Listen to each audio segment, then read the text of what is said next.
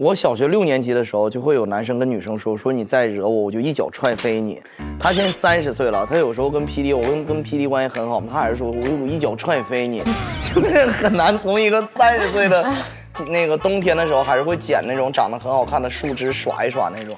就他身上一直有着，又一直一直是有这种拿树枝子打雪呀、什么的，他会有的。我们之前一块拍一个拍一个电影嘛，在海滩上拍嘛，然后那个那个管乐有一次跟我唠什么玩意儿，然后他在他在旁边差点乐死。我跟管乐说啥？我说管乐，你要是再跟我整这没用，你信不信我在这给你撂倒？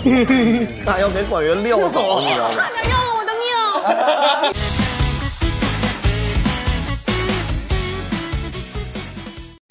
那你反反之评价一下王天放吧。哥们把灯亮了。王天放啊，妈，王天放这人最勤劳，天天那就早九晚五的，天天就那么干，没有一次迟到的时候，哎呦，太好了！从来不给团队拖后腿。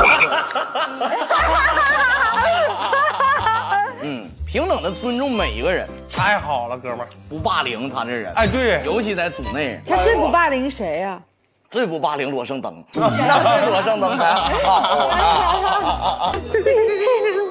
呃，最后一次那个罗胜登都要上台了，然后这王天放过去了，说兄弟，好好演，分儿不重要，你演你演不好，我亲死你我都给他亲懵了，我都啊。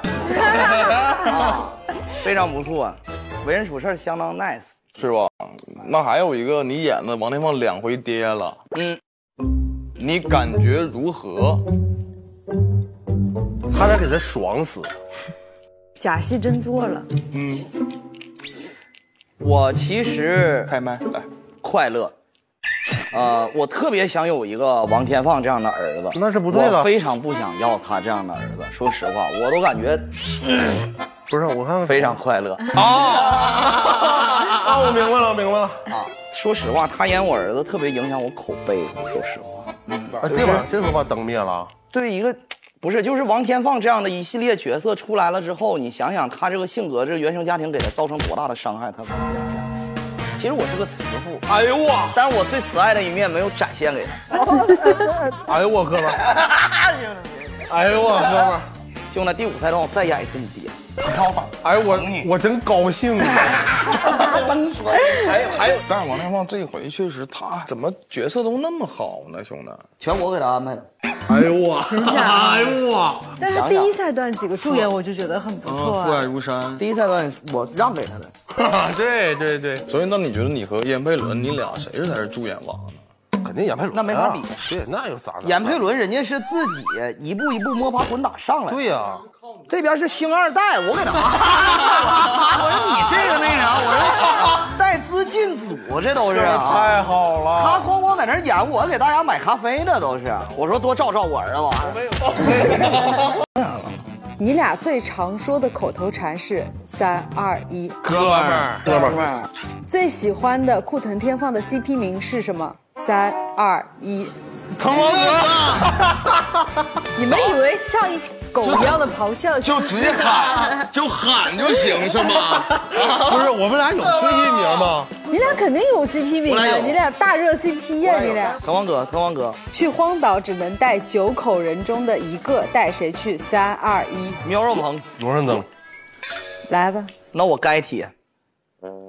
我是不可能带罗胜登的，为啥呢他？老让我父爱泛滥。不是，其实我觉得带张成也不错，因为他个儿高。张成不行，不是，你看，比方说树上有果实啥的，他就可以摘。但是他吃的也多呀，也是啊，对吧？那我还是带罗胜登，他长得像野人。碰到野人的话，容容易沟通对，容易沟通。而且我喜欢撸毛。嗯，他头发长是吧苗我是长长毛犬，所以对我来太好了，说更那啥。他是马尔济斯，对马尔济斯。其实最重要一点是我跟苗若鹏喜欢聊八卦，你俩在荒岛上没啥八卦，哪个椰子熟哪个椰子没熟不是，哥们儿会有这有啥唠的那玩意儿？不是他说，哎，我跟你我跟你说个事儿，那椰子老差劲了，那椰哎子。，今天那个海报，来，酷酷的天放成立的日子是三二一，这日子怎么可能记得住呢？这怎么会记不住日呢？期吗？金鹰宝贝的成立日期，三二一，走。九月二十八号开学，他生日哪年二零一一年。哥们儿，他现编的。你知道为什么吗？因为那天九月二十八号是他生日，那天我们在上课，我为了掐点给他过生日，我定了个闹钟，但是那天是我们的大学的课，然后上课的时候我的闹钟响，老师把我叫起来那个点名，那一天精英宝贝成立了。哦，三狗的成立日期是三二一。不记得了。哎，好好好。主要是这玩意儿确实男生吧，他没有这种仪式感。对呀，这问题这属于愣贴我，这是。最近一次吵架是什么时候？三二一，兴安岭奇缘，对我俩说的是一个地方，一个省。什么东西啊？前年兴安岭奇缘，吵得很狠吗？狠啊，我我骂的话都是这种摄像机，都是播不了的。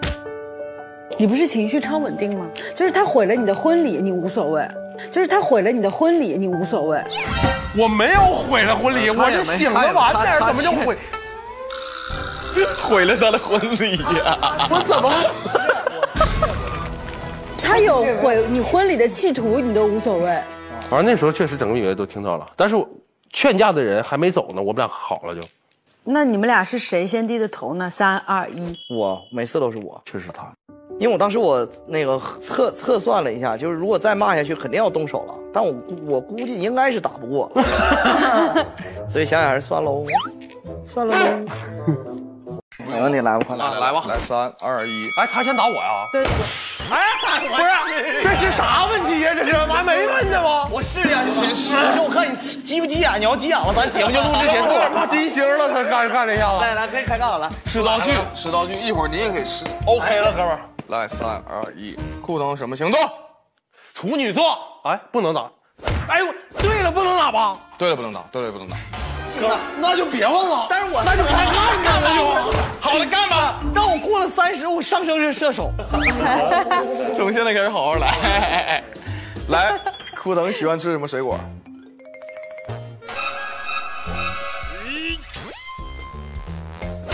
哎，哥们儿，这上哪去？你告诉我，你告诉我最喜欢吃啥水果？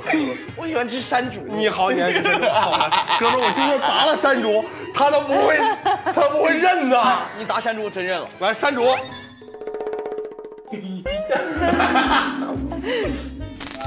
一直是他打我是吧？不是，这游戏是太爽了。不是，这游戏是那就给我，别给我了。兄弟，这盘完事儿就结束了。打吧就啊。兄弟，这把完事，下一盘在医院录。行。来来来，三二一，天放什么星座？摩羯。天放最喜欢吃什么水果？最喜欢吃苹果。兄弟，累点来了吗？累点，爽啊，哥们你告诉我，那你喜欢吃什么水果？我喜欢吃梨。可是我见过你吃苹果啊，兄弟。但是我心里最爱吃梨。王天放不吃什么东西啊？王天放没有不吃的东西。我不吃西瓜，兄弟，我不信。我真没西瓜，这我一个小怪癖，不吃西瓜。我觉得西瓜味很怪。王天放身高多少？一八七，八四。我给你多说点也。兄弟，这棒合适吗？打的？我诚实啊，哥们儿。兄弟，太诚实了。来来来来，王源旺的生日一月十五号。哥们，我这都没发动起来，我你这发动不了。王源旺的个性签名是什么？天道酬勤，天道酬勤，上善若水。这俩我记。花开富贵嘛，兄弟。结婚了，我太生气了，还能再有一轮不？王源旺喜欢的女生是长发、短发。兄弟，你撒谎！我改了，对了，打你是今天改的，兄弟。你甚至是上一秒改的。来来来来，王天旺最想合作的女演员是谁？我我我我狗你了啊！来，史策。我合作过了。你合你跟他合作不就是因为你想跟他合作吗？我现在不想了啊。好，我现在就发豆瓣。我靠全世界你最想合作的人王天放，我手机呢？哎，别别别，这样，还最后一个问题，兄弟，刘诗英跟我说过，你们第一赛段那个小品那个 sketch，他每次看展演都期待那一巴掌的力度。还有我们我有一次打他那一巴掌，把我自己手打麻了哦。哥们儿，他真给我打出金星了。你们知道那种一个嘴巴子整个扇你脸上，就是嘣一下我就有点眼睛白了，你知道吗？我下一次词儿没说出来，我就开始笑场。那嘴巴真给我扇懵了，我都想还手，哥们儿。这个我没有录像。有有有，每次展演都有视频，让你们调出来。你把这段之后就放在这个节目里面，让他们看一下那那巴掌有多重。其实我也在找一个力度，你知道吧，晶晶？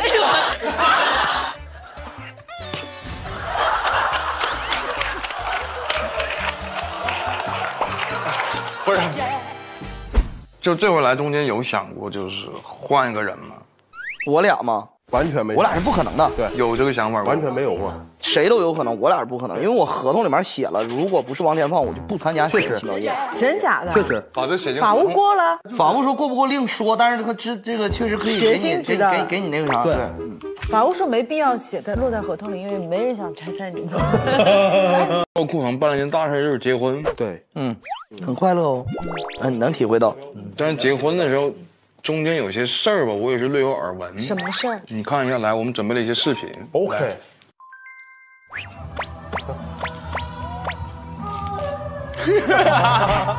这这哥们儿还有一张照片儿，这是什么？抢婚呢？呃，不是，锤，你跟锤锤认识吧？认识。啊，他当时在那个在唱歌，对然后那个王天放，我就唱的很好，我想当一个，我想表演一个疯狂的粉丝，我想往往台上扒。但我的婚礼现场是不允许有这样的情况发生的，对，所以要给他踹下去。他是一脚踹我脸，就哎，那一脚不亚于那嘴巴子，都很爽，是不是？还舒适。串实了吗？那脚？没使，没使没使。有时候有一些肉体上的痛苦，也是你自己寻求得来的吧？我就甚至觉得他有点享受，其实他有时候会激怒我。行了，这段就剪到这儿了。行了吧，不用不用往下录了，接着往上。我觉得问个走心的，来，走了走了。你觉得结婚这事儿或者婚后，对你现在的状态有变化？他对我的人生的整个的，都是都都是有改变的啊。真假的啊？我跟你讲一个事儿啊，就是对于绝大部分的男生而言，领证跟办婚礼是两码事儿。啊，真的啊？对，因为领证其实你领证的当天就早上你去拍个照片，然后就完事儿了嘛。然后好多地方其实也没有什么宣誓啊那些，嗯，你就只是有一个证到手里面了。但是当你在就是那一天，你跟你的老婆你们两个是主角，然后你看到台下五六十桌的人都是为你们而来，啊，满满的全都是祝福。然后你看到他的父母，看到你的父母坐在台下的时候，然后你在台上去宣誓的时候，其实那个感觉是完全完全不一样的。